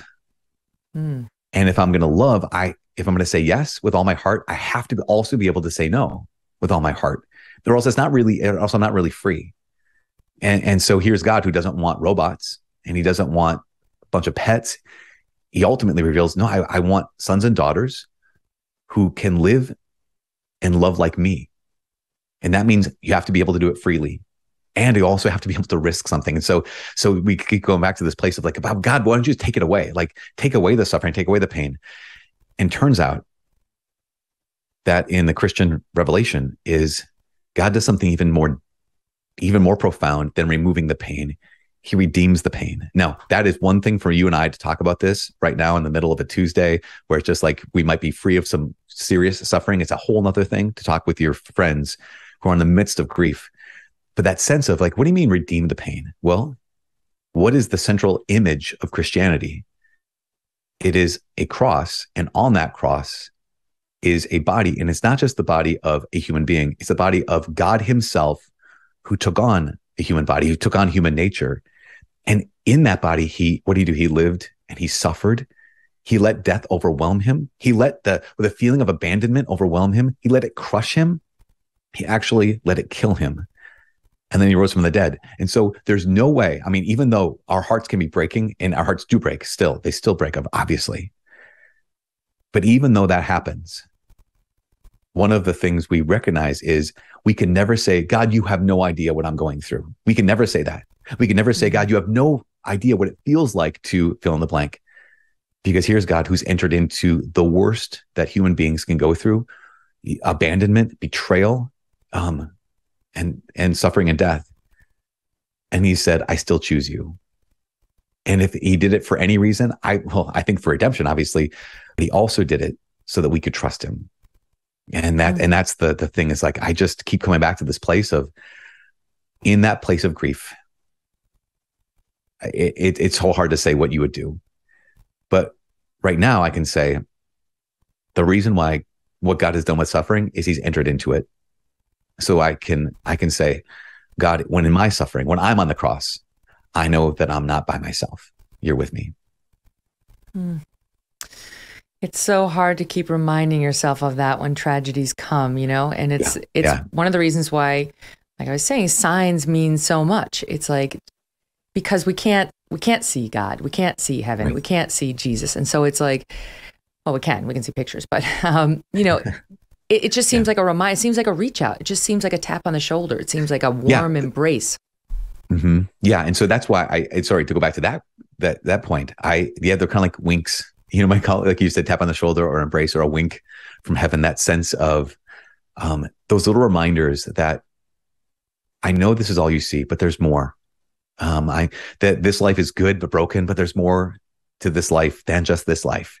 And yeah, so I, I mean, you know, people talk about ghosts or people talk about, you know, again, like you mentioned, your father or or um, this young man, Blake, yeah, Blake, and uh, I'm like, yeah, that makes sense. Why? Because we we assert that they're not dead. Like we assert that, yes, here their life on earth is over, but we know that they still exist. Like we know that they're still alive. We know that their spirit, their soul is alive.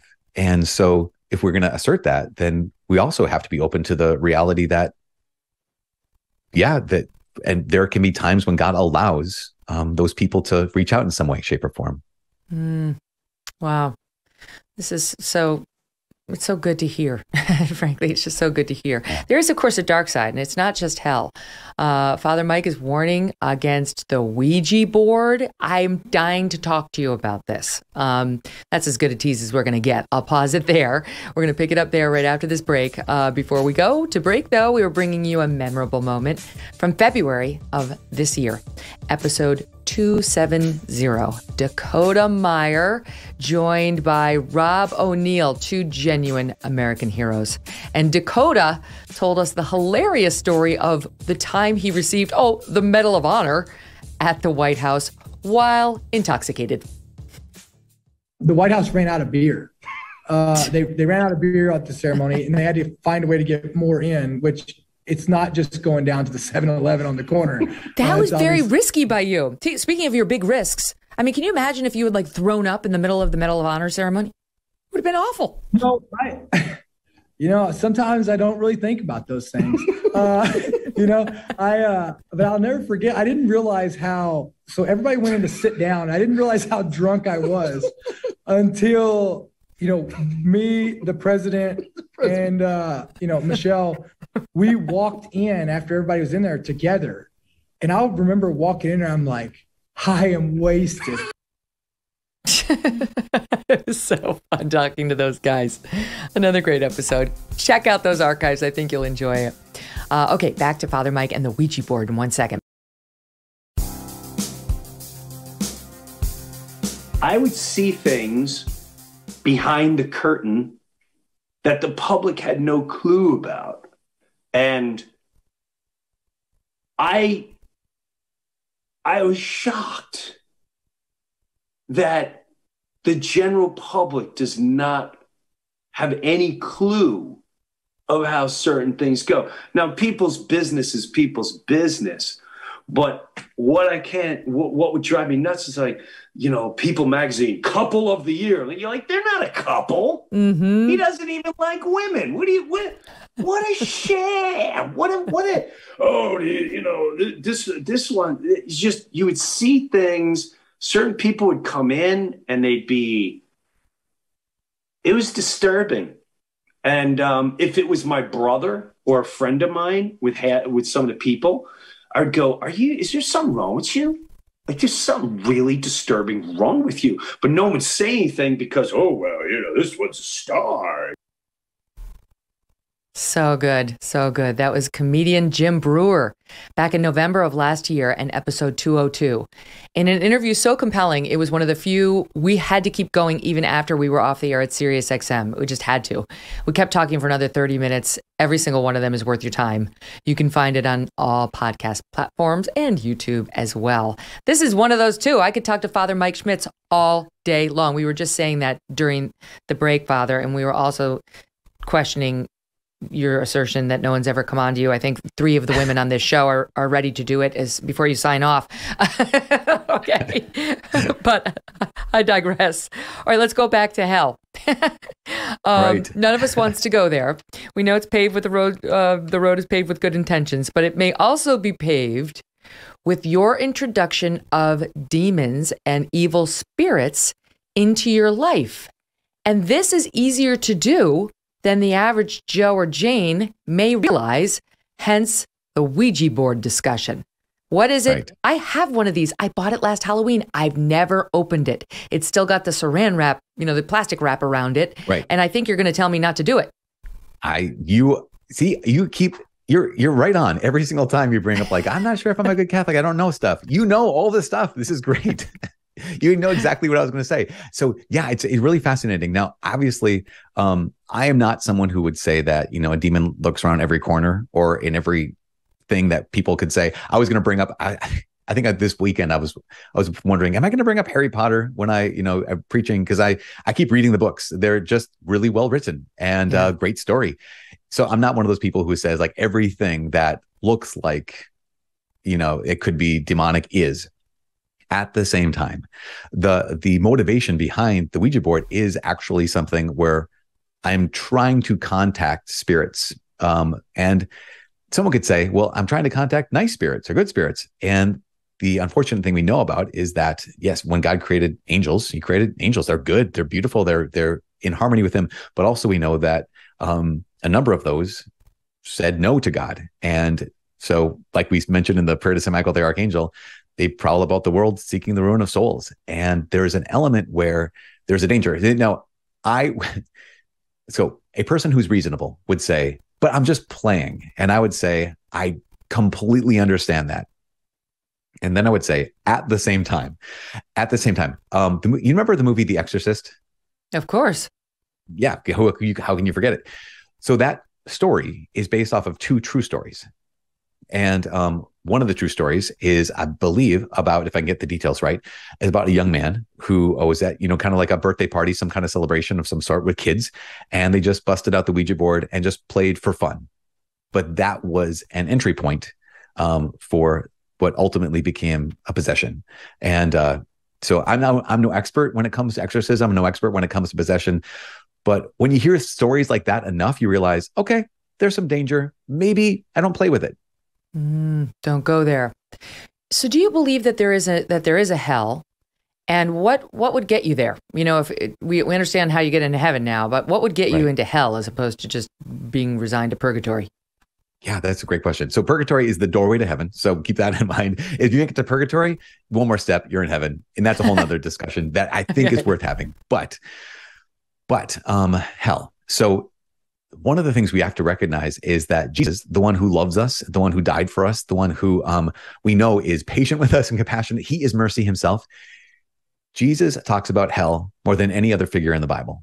Mm, And so we have to understand that this is not just something that we've made up. It's not something that um, is like some Christians believe this. This, if, if we are paying attention to Jesus and and taking his him at his word, then we realize that it is um, possible for us to choose. He's made it possible for us to choose God, which is awesome. But it also is possible for us to say, no, I'd rather not.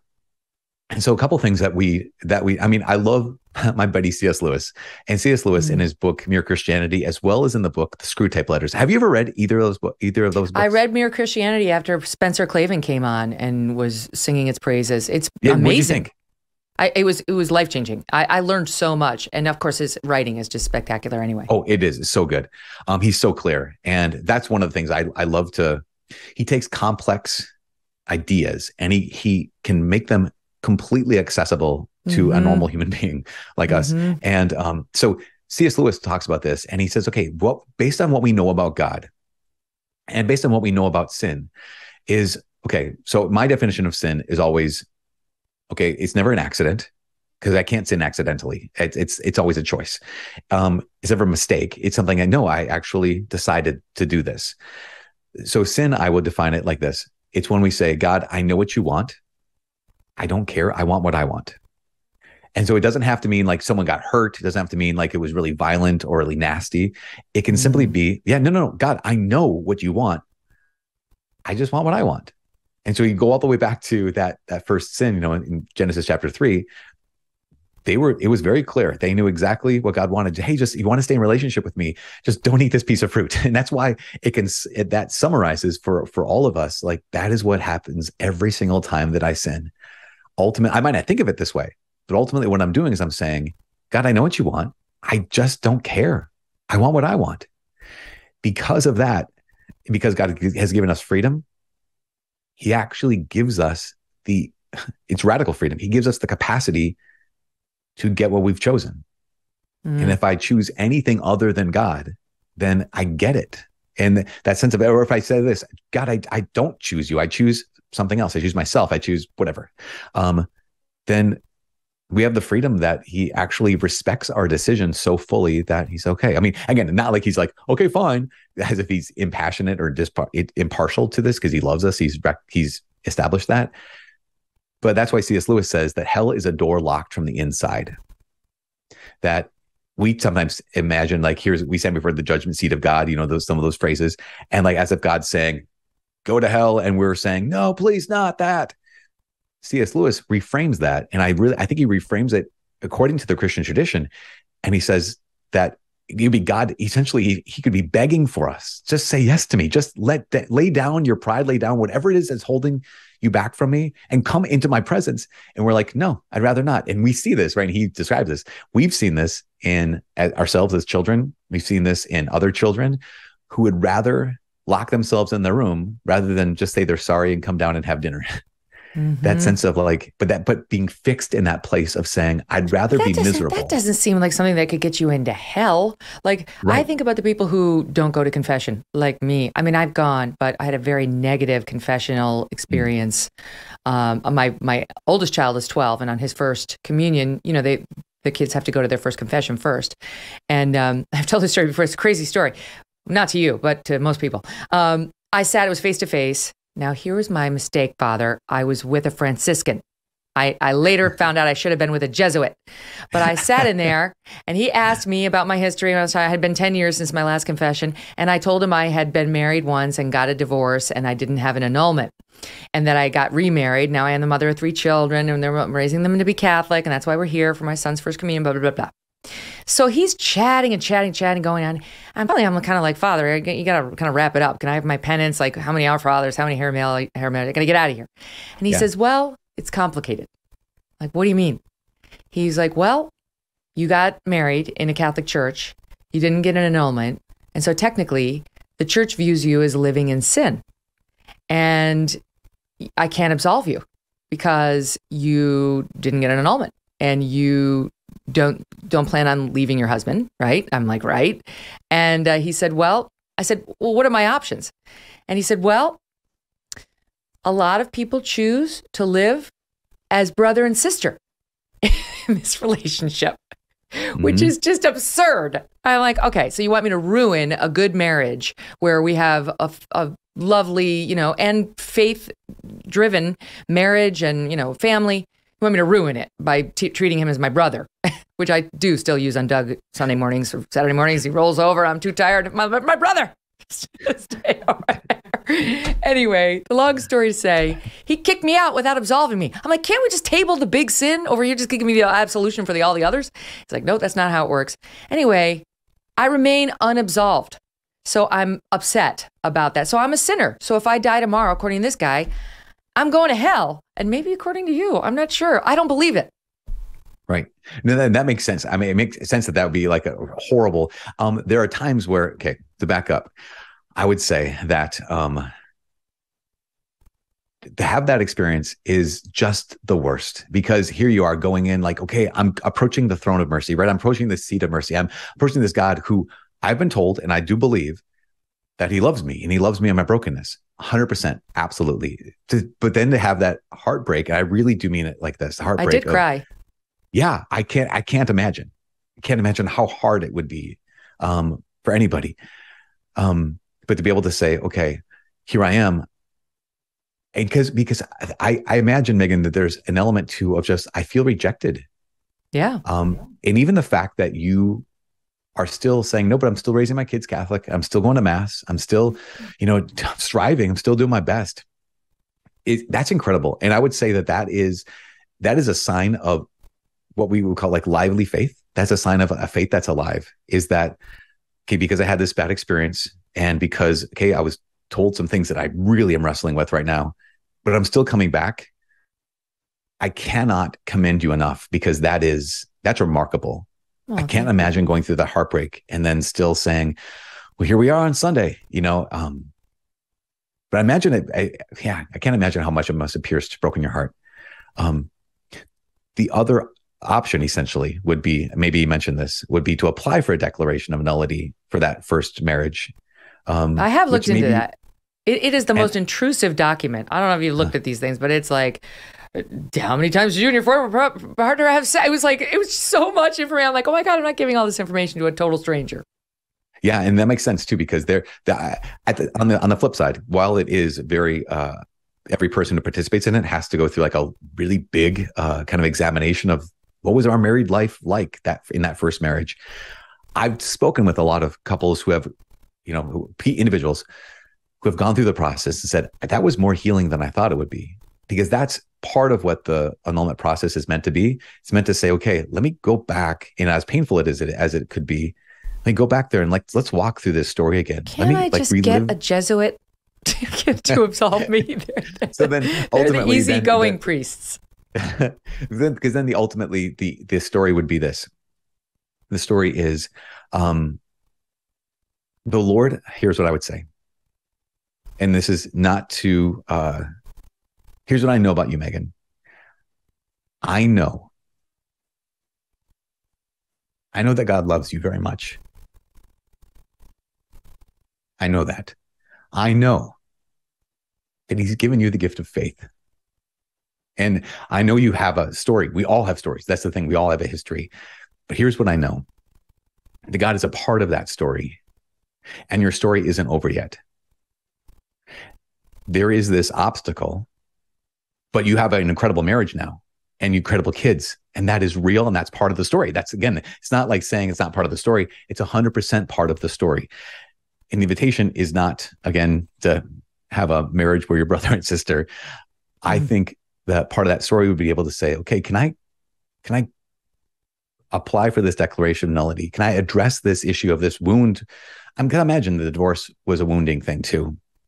I can't imagine having so much hope that first marriage when it starts out, and then how much having so much heartbreak when it ended. But I do believe this. I do believe that the God who has he has loved you, he still loves you, and the one who you have faith in right now. I don't think this is the end of your story. I think this would be a really good next step. Hmm. Um, at the same time, I know that that's not um, it's not quick, it's not easy, but here's where I don't jump. Um, we know that there are objective things for all of us that, like, okay, this is a no. you have to always not do this. Here's a yes. You have to always do this. And we fail at that. But I can never jump and say, well, Jack, you did X, therefore you're going to hell. Because I don't know the story. I only know the surface of the story. Hmm. And I hardly even know that. I know some details you just shared with me. Um, so I know there's some okay, objectively, here's what here's where we're at right now. But also, that's one of the reasons why Jesus makes it very, very clear. He says, Do not judge lest you be judged. You cannot condemn lest you be condemned. Um, because you never, we never know someone's full story. And I would say that um again, going back to this place, and I just, I really mean this, Megyn, your story isn't over. And I believe that God wants to continue blessing you and your family. And I think maybe one of maybe one of those ways he can continue blessing you and your family is that next step of the declaration of nullity. And again, I don't mean to be intrusive right now. I'm so No, no. sorry that I'm like feel like I'm no, uh, preaching, I but feel- I just I you brought it up. So so Yeah, yeah. there. I feel I feel like he blessed me today with this interview and just getting to meet you and hear your thoughts and your explanations. And Abby, get those forms and you start filling them out. You, see, you know what happened in the first marriage. uh, Father Mike, thank you so much. Would you please come back? I would love to would continue love to. the conversation. I would love to. I would love to. Awesome. All right, and we'll make sure we'll promote the uh, the catechism in a year. Uh, it hasn't yet launched, but it's going to soon. All the best to you, and to be continued. Really, really enjoyed that. I hope you did as well. I think it's for everybody. You don't have to be Catholic to enjoy that. Just, you know, his thoughts on the afterlife and so on. The vast majority of people do believe. Tomorrow, we'll be joined by somebody who left his quote religion altogether, and that is Mike Rinder, who was a Scientologist, and he was high up in Scientology. He was part of Sea Org, which is like the Grand Poobah section of Scientology. He's out with a new book called A Billion Years. It's about his life in the church, why he left. He dishes on celebrities like Tom Cruise, John Travolta, and much, much more. Don't miss that tomorrow. See you then.